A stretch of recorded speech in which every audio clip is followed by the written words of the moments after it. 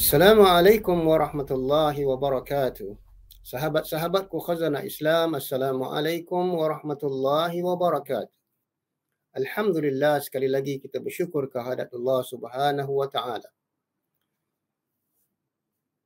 Pada Ramadan yang ketujuh, insya-Allah kita akan bersama-sama mengambil satu lagi episod ke-74 tentang superfoods untuk Ramadan.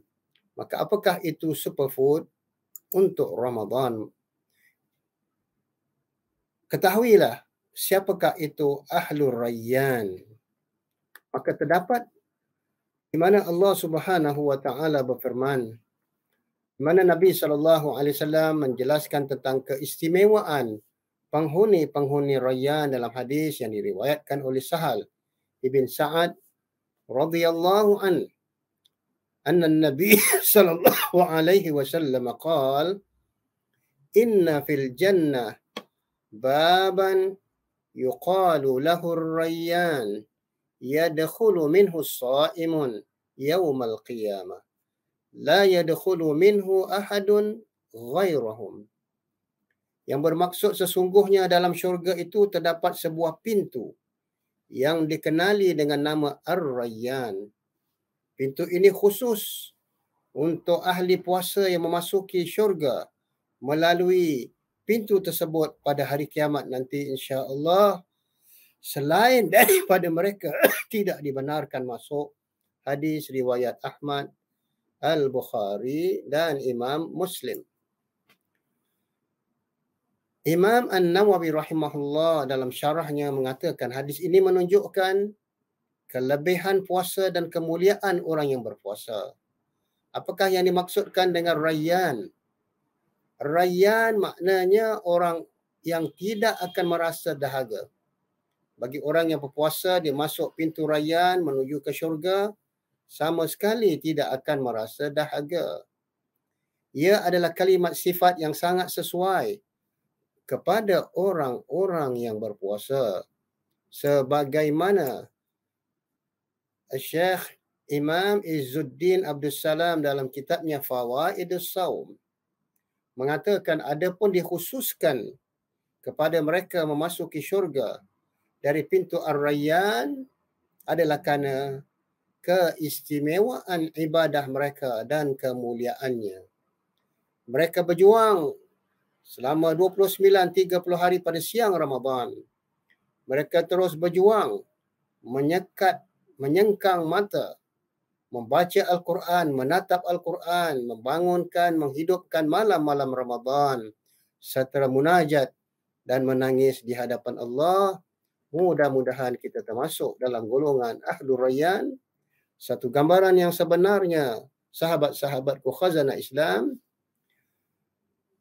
pada kalimat Ar-Rayyan dan ianya buat selama-lamanya khusus bagi penghuni syurga yang menjalankan segala urusan Allah dan ibadah sepanjang Ramadan. Nah, topik kita pada pagi ini tentang masalah apakah dia superfood for Ramadan. Di sana dalam kita menjaga kesihatan, ahli-ahli kesihatan dan ahli-ahli nutrisi mengatakan di sana ada tiga priority keutamaan. Yang pertama dikatakan priority in the healing arts is awareness. Bahawa seni pengobatan yang utama adalah kesedaran. Apabila kita ada kesedaran nak merubah cara hidup kita itu merupakan suatu keutamaan yang pertama bagi orang yang sakit. The second priority is activity. Priority keutamaan yang kedua adalah kegiatan. Apabila kita orang yang sakit ataupun tidak sihat, keutamaan yang kedua ialah dia harus melakukan kegiatan. Di antaranya uh, riyadhah badania, berjalan kaki, brisk walking, eh, melakukan uh, tai chi ke ataupun apa-apa sahaja kegiatan eh, untuk menguatkan uh, sistem imunnya. Nah, yang ketiga, priority yang ketiga, keutamaan ketiga adalah nutrition. Yakni nutrisi. The right type of quality food. yang mana dia memilih makanan yang berkualiti eh, yang sesuai. Ini dikatakan oleh Paul Pitchford healing with the whole foods. Maknanya uh, penyembuhan syifa eh, dengan makanan yang menyeluruh. Selanjutnya, apakah superfoods for Ramadan? Apakah makanan-makanan yang utama eh, pada Ramadan ketika kita berbuka dan begitu juga bersahur? Di antaranya yang dilazimkan oleh Nabi sallallahu alaihi wasallam ialah memakan kurma. Di antaranya kurma yang digemar oleh Nabi adalah kurma ajwa aliyah ataupun Nabi makan rutab, kurma segar dicampur dengan uh, buah temikai ataupun buah-buah yang berair. Yang kedua, memakan madu asli dicampur dengan air lemon yang suam, air suam. Yang ketiga, menjadi kegemaran Nabi dan para sahabat ialah berbuka dengan air zam-zam sebagaimana apabila kita berada di Masjid Nabawi dan begitu juga Masjidil Haram akan senantiasa disediakan air zam-zam yang dingin dan segar. Yang keempat, susu segar. Yakni berbuka dengan susu yang segar ataupun fruit juice. Itu sangat-sangat digalakkan dan tidak digalakkan berbuka dengan air ais ataupun air yang bergas kerana itu akan membahayakan organ-organ tubuh badan kita, usus kita dan sebagainya. Yang kelima dianjurkan makan sup. Di antara sup yang sangat digemari oleh Rasulullah sallallahu alaihi wasallam sahabat-sahabat khazanah Islam adalah sup buah labu ataupun sup sayur labu. Eh, buah labu itu dijadikan sup eh, yang dapat memberi ketenangan apabila kita hampir sehari 12 jam, 14 jam berpuasa. Maka apabila yang masuk itu adalah sup eh makanan-makanan yang ringan maka ia boleh memberikan kekuatan. Yang keenam sangat digalakkan buah-buahan dan jus buah-buahan. Kerana apabila kita mengamalkan memakan jus buah-buahan sebelum makanan yang berat protein ia akan menjadi alkaline ataupun ia akan menjadi akali yang menguatkan sistem imun kita. Dan begitu juga diga sangat digalakkan eh, kita berbuka dengan whole meal, roti whole meal ataupun uh, roti lemak tepu. Nabi SAW sering berbuka ataupun makan uh, roti yang direndam dengan kuah. Itu dinamakan tharid. Makanan kegemaran Nabi SAW apabila ada kuah sup daging, Nabi akan uh, pecah-pecahkan dan potong-potong roti-roti itu direndam ya, di dalam sup dan Nabi akan makan. Dan begitu juga bagi orang yang sudah berumur, ya, senior citizen ataupun warga emas sangat digalakkan senantiasa makan uh, sup Bali ataupun Bali ataupun oats yang dicampur dengan susu eh, itu adalah makanan yang sangat ringan dan sangat sesuai dan pilihan yang terbaik eh, ketika kita berbuka puasa bukan makanan yang berat-berat kerana ia akan membahayakan dan memberatkan uh, tubuh badan kita untuk beribadah.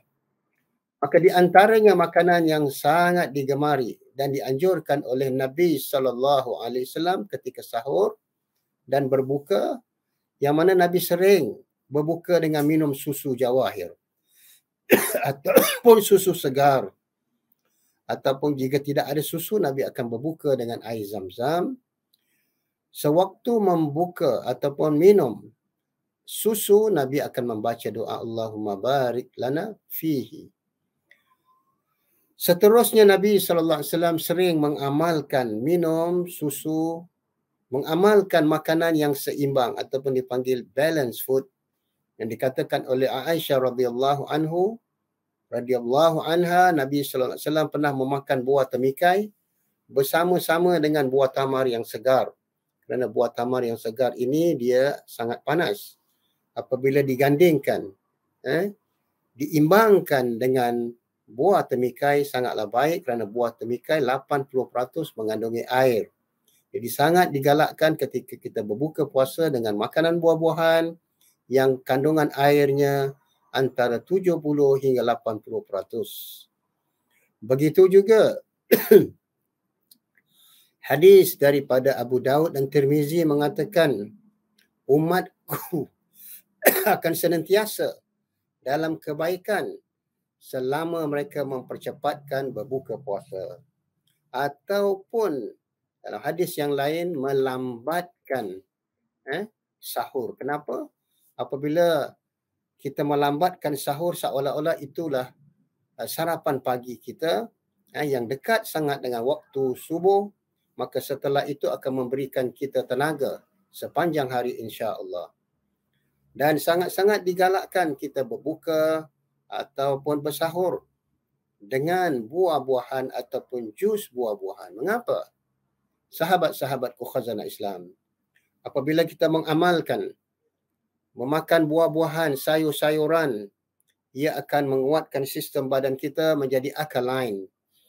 Ha? Apabila kita punya tubuh badan uh, punya alkaline, ia akan menjadi sistem, imun sistem yang kuat mencegah daripada segala penyakit.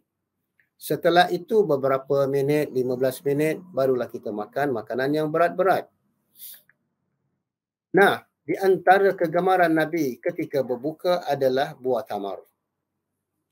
Hadis Abu Ya'la daripada Anas radhiyallahu an mengatakan dalam hadis yang bermaksud adalah Rasulullah sallallahu alaihi wasallam suka berbuka puasa dengan tiga biji korma ataupun sesuatu yang tidak dimasak dengan api. Makanan sesuatu yang tidak dimasak dengan api mengikut dalam kitab Nailul Autar jilid yang keempat 301. Mengapa Nabi suka berbuka puasa dengan buah tamar? Dan tentunya ada sebab kenapa Nabi menggalakkan kita berbuka puasa dengan makanan yang tidak dimasak dengan api. Di antaranya adalah buah-buahan, sayur-sayuran eh, dan sebagainya. Di dalam hadis sahih Bukhari, Nabi sallallahu alaihi wasallam bersabda, sesiapa yang memakan tujuh biji korma dari daerah Ajwa Aliyah Medina ketika dia bangun tidur maka tidak ada racun ataupun sihir yang dapat membahayakannya pada hari itu insya-Allah lebih-lebih lagi ketika kita berbuka puasa. Nah, mengapa? Satu kajian saintifik telah membuktikan bahawa terdapat di dalam kurma ajwa sesuatu mineral yang boleh menguatkan mata kita menjadi tajam kerana sasaran sihir adalah mata. Nah, mengapakah kita sangat digalakkan berbuka dengan buah tamar bukan dengan makanan-makanan yang lain? Mengapa? kerana di dalam buah tamar itu ada kalsium 65 mg. Di dalam korma itu ada nikotin asid 2.2 mg. Di dalam buah tamar ada zat besi 2.1. Di dalam tamar itu ada vitamin B1 dan begitu juga vitamin B2 dan vitamin A. Maka itulah sangat-sangat digalakkan kita berbuka puasa dengan buah tamar.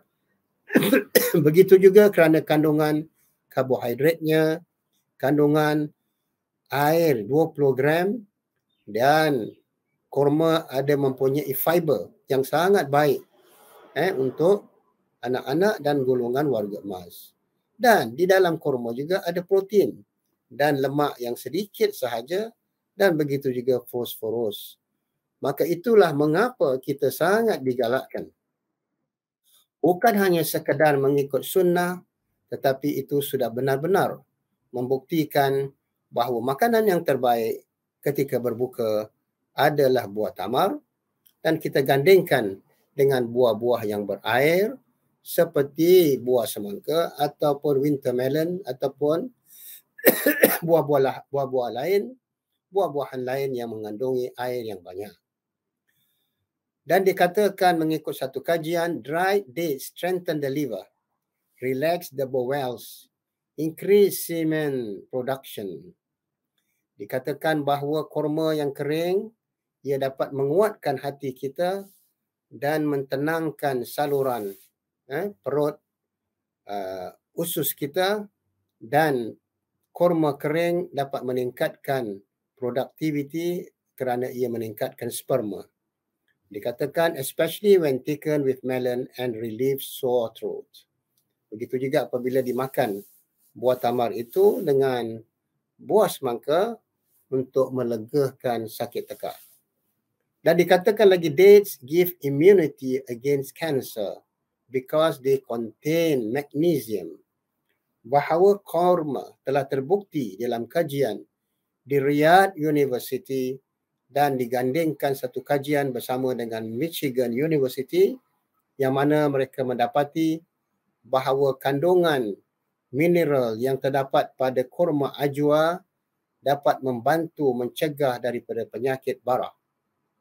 Dan dikatakan lagi dried dates are among the most nutritious fruits especially when one eats dates eats dates in the beginning of the day. Bahawa korma adalah makanan yang sangat buah-buahan yang sangat nutritious ataupun nutrisi yang baik lebih-lebih lagi apabila seseorang itu makan buah tamar pada pagi hari sebelum sarapan. Seterusnya, kurma boleh membantu kurangkan berat badan eh, kerana kandungan fosforus kandungan vitamin B1, vitamin vitamin A dan sebagainya dan kalsium. Jadi ia dapat mengurangkan uh, berat badan eh, dan seimbangkan keadaannya. Kerana korma mempunyai kandungan lemak yang begitu rendah. Selanjutnya, korma juga dianggap sebagai obat ataupun remedy untuk anemia kerana ia mengandungi rasio eh, mineral besi yang tinggi tadi. Jadi bagi mereka yang mempunyai kekurangan darah merah, maka bolehlah dia mengamalkan memakan buah kurma yang baik, jenis yang baik. Sahabat-sahabatku khazanah Islam ketahuilah bahawa kurma dapat memberi kekebalan, eh, mencegah, membantu daripada penyakit parah. Insya ya wa iyazubillah semoga Allah memelihara kita. Kerana di dalam kurma itu ada kandungan mineral magnesium. Dan dikatakan the juice fresh dates is diuretic due to the action of sugars that are present in it. Bahawa jus buah kurma itu dapat membantu eh, melancarkan perjalanan air kencing kerana uh, peranan eh, gula di dalamnya, gula fructose eh, yang dapat membantu. Dan dikatakan bahawa Korma juga they strengthen the auditory nerves so they are good for the elderly. Dikatakan bahawa buah korma ini dapat menguatkan uh, saluran-saluran uh, urat uh, auditory kita dan dia baik untuk warga emas eh, untuk memberi kekuatan eh, kepada mereka dan tenaga. Dan dikata juga menurut satu kajian saintifik bahawa buah korma dapat menguatkan penglihatan eh, lebih-lebih lagi bagi warga emas dan juga dapat uh, membasahkan pebola mata kita kerana ia mengandungi satu moisture yang uh, mengandungi air kerana korma mengandungi vitamin A yang dapat melawan rabun malam. Dan begitu juga kurma mengandungi vitamin A dan B1 di mana ia dapat menguatkan saluran pembuluh darah kita dan menguatkan jantung kita. InsyaAllah. Sahabat-sahabat khazanah Islam. Kurma dapat mengurangkan aktiviti thyroid disebabkan terdapat fosforus ataupun dia panggil cells brain tadi. InsyaAllah. Maka dari itu, janganlah khawatir bagi penderita diabetes. Mereka juga digalakkan memakan buah tamar. Namun janganlah berlebihan antara uh, tiga biji uh, yang kecil dan sebelum dia nak berbuka puasa itu dia rendam dahulu 15 minit supaya kadar gulanya turun dan bolehlah dia makan. Pastikan bahawa korma itu bukan sugar coated eh, bukan sudah di marinate dengan gula dan pastikan korma itu adalah korma yang jenis yang baik. Eh? Lebih-lebih lagi korma ajwa aliyah Madinah. Dan kajian telah membuktikan budaya berpuasa diyakini boleh membantu menstabilkan kadar gula darah ataupun blood sugar level. Dan begitulah di antaranya aktiviti-aktiviti atau kegiatan-kegiatan untuk memberikan kekuatan tubuh badan kita ialah makanan yang seimbang, balanced food dan kita amalkan riyabah badania, eh, gaya hidup sihat hanya sekedar uh, berjalan kaki eh, tidak perlu jogging ataupun uh, riadah yang berat. Dan kalau kita mengamalkan puasa-puasa sunat, insya-Allah sangat membantu. Selanjutnya amalkanlah obat-obat tradisional ataupun obat-obat herba yang asli, yang murni. Dan begitu juga amalkanlah dari sudut spiritual, eh, kesihatan spiritual kita adalah dengan beribadah, berzikir dan membaca Al-Quran insya-Allah dan seterusnya. Di antara minuman yang terbaik ketika berbuka puasa dikatakan dalam Sahih Bukhari dan Muslim bahawa Abu Dhar yang semasa itu dia duduk iktikaf di Makkah selama 40 hari 40 malam dengan tanpa makanan sedikit pun. Lalu Nabi sallallahu alaihi wasallam berkata kepadanya, sesungguhnya air Zam-Zam itu adalah makanan sebagaimana ia makanan untuk Ismail alaihi salam dan Siti Hajar eh maka telah dibuktikan bahawa air zam-zam itu adalah makanan bagi orang yang lapar eh hadis riwayat Muslim jadi air zam-zam ini bukan hanya sekedar minuman tetapi sangat baik untuk orang yang berpuasa dan berbuka puasa kerana ia adalah makanan. Dan dikatakan dalam hadis yang lain, qala Rasulullah sallallahu alaihi wasallam, ma'u zamzam lima syuribalah. Air zam-zam itu akan memberi khasiat dengan niat orang yang meminumnya. Dan seterus, seterusnya dalam panduan eh, dalam kita berbuka puasa ataupun sahur, Nabi sallallahu alaihi wasallam tidak makan lauk yang semalaman eh, yang telah dibiarkan semalaman eh, Nabi sentiasa makan makanan yang segar. Nabi hanya makan lauk yang di, baru dimasak eh, pada hari itu yang segar. Bukan yang telah terbiar satu malam, dua malam. Dan begitu juga dalam hadis Muslim Nabi sallallahu alaihi wasallam mengatakan ya ayyuhalladzina aman wahai orang-orang yang beriman makanlah jenis makanan yang bersih thayyiban yang baik kualitinya daripada apa yang telah kami karuniakan kepada kamu. Manakala makanannya ialah buah-buahan, daging yang segar, sayur-sayuran dan di antara sayur-sayuran yang sangat digemari oleh Nabi SAW adalah buah labu. Pasal satu ketika Aisyah menceritakan bahawa Nabi SAW pernah berkata kepadaku, kata Aisyah, jika kamu masak lauk, perbanyakkanlah sayur labu itu. Kerana sesungguhnya sayur labu itu boleh mengobat hati yang sedih. Ha? Dalam Al-Ghalayaniyah, hadis Risham Urwah. Dan dikatakan buah labu atau pumpkin dari segi khasiatnya mempunyai karbohidrat yang kaya dan fiber serat yang baik. Dan buah labu juga mempunyai vitamin A, B, C dan beta carotene yang baik di dalam kitab Tibbun Nabawi menurut Ibn Qayyim Al-Jawzi. Dan dikata juga buah labu turut melancarkan pembuangan air besar dan air kecil ataupun dikatakan diuretic. Ia juga boleh menurunkan tekanan darah tinggi mana blood sugar level ataupun blood uh, uh, dia panggil apa tekanan darah eh, blood pressure dan menurunkan kadar gula dalam darah blood sugar level serta boleh meredakan demam panas insya-Allah taala. Dan dikatakan khasiat buah labu lebih-lebih lagi bagi mereka yang sedang berpuasa dan hendak berbuka dapat memberi bekalan nutrisi yang ringan. Khasiat lain buah labu memberikan serat atau fiber, nutrisi yang baik sesuai eh, vitamin yang terkandung di dalamnya. Jika dimasak dengan sejenis sayur labu, boleh memberikan nutrisi yang amat baik eh, pada tubuh badan kita ketika kita berpuasa. Dari segi rawatan, buah labu sesuai untuk orang yang mengidapi penyakit hati dan masalah usus kolon. Eh, dan begitu juga usus besar yang sudah parah dengan izin Allah. Inilah di antaranya beberapa jenis buah labu mengikut daerah dan negara. Ada yang warnanya oranye, kuning, hijau, eh, ada yang besar sehingga 50 kilo.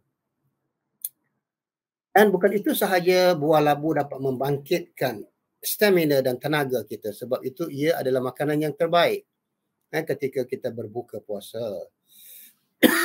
buah labu juga mengandungi potasium yang merupakan elektrolit untuk menjaga stamina tubuh badan kita.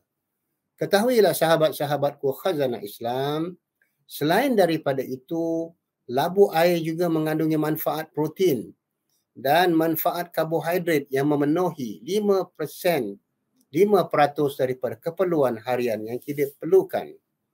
Kandungan karbohidrat dan protein itu mampu menambahkan tenaga dan stamina kita eh, ketika kita berbuka puasa insya-Allah begitu juga buah kurma memberi tenaga yang segera eh, apabila kita berbuka dengannya digandingkan dengan buah labu. Nah, selain daripada itu makanan yang sangat digalakkan ketika bersahur dan berbuka adalah banyakkan sayur-sayuran di antaranya adalah sayur bayam eh, baik untuk menambahkan darah eh, ataupun hemoglobin. Manakala dari segi minuman pula kita banyakkan air suam. Dan begitu juga kalau jika ada air zam-zam dan kadang-kala amalkan minum air yang panas dan elakkan daripada minum air ais dan makanan minuman yang bergas kerana itu boleh membahayakan usus kita eh? Dan begitu juga pankreas kita. Kerana kita telah berpuasa selama 12 jam apabila masuk air ais eh, dan begitu juga air yang bergas ia, ia boleh membahayakan organ-organ dalam tubuh badan kita. Begitu juga sahabat-sahabatku khazanah Islam kita dianjurkan makan roti atau whole meal roti gandum yang lemaknya uh, tepung. Kandungan uh, uh, tepungnya yang belum diproses. Gandum adalah makanan yang kaya dengan karbohidrat. Karbohidrat juga penting untuk tubuh sebagai bahan bakar. Eh, burning, fat burning dan kegiatan sel dan tisu tubuh yang kadang-kadang boleh disimpan eh, sebagai lemak sihat. Insya Allah. Seterusnya, apakah kaedah prinsip yang dikatakan makanan itu makanan halal dan tayyibah. Ketika kita berbuka, Allah Subhanahu wa taala berfirman dalam surah Al-Baqarah ayat 168 yang berbunyi a'udzu billahi minasyaitonir rajim. Ya ayuhan nas kulu mimma fil ardi halalan tayyibah sadaqallahul azim. Jadi pastikan apabila kita berbuka ataupun bersahur di rumah, di luar ataupun di tempat-tempat hotel yang mewah, maka pastikan makanan kita adalah halal dan thayyibah, halal lagi bersih, halal lagi berkhasiat dan berkualiti. Halal, selamat dan safety. Dan begitu juga halal makanan itu sesuai untuk fitrah uh, anak Adam atau fitrah jiwa kita dan makanan itu tiada syubhat. Kadang-kala makanan tidaklah tidaklah menjadi satu kesalahan apabila kita nak berbuka puasa di tempat-tempat restoran yang mewah, hotel-hotel yang mewah, dipastikan inilah kaedah prinsip makanan eh, yang sehat lagi halal. Seterusnya, di antara petua-petua kita berbuka puasa, Pertama menjauhkan diri dari memenuhkan dan menyesakkan makanan dalam perut sekaligus eh, ketika berbuka. Biarlah ia berperingkat-peringkat. Kita berbuka dengan air segar. Kita berbuka dengan buah-buahan. Kita berbuka dengan sayur-sayuran makanan yang tidak dimasak dengan api. Ha? Yang kedua, menjauhkan diri daripada membanyakkan jenis juadah eh, ataupun lauk yang terlalu banyak seperti kita makan nasi ambeng. Ada 12 lauk, 13 lauk dan sebagainya. Namun itu bukanlah haram tapi itu budaya yang kurang sihat. Kalau diri saya, saya mungkin akan makan menjamu selera nasi ambeng itu sebulan sekali sahaja. Yang ketiga, menjauhkan makanan yang terlalu pedas dan minuman air ais yang bergas. Ia sangat membahayakan. Ha, ia boleh merosakkan sistem metabolisme kita, usus kita, perut kita dan organ-organ yang lain.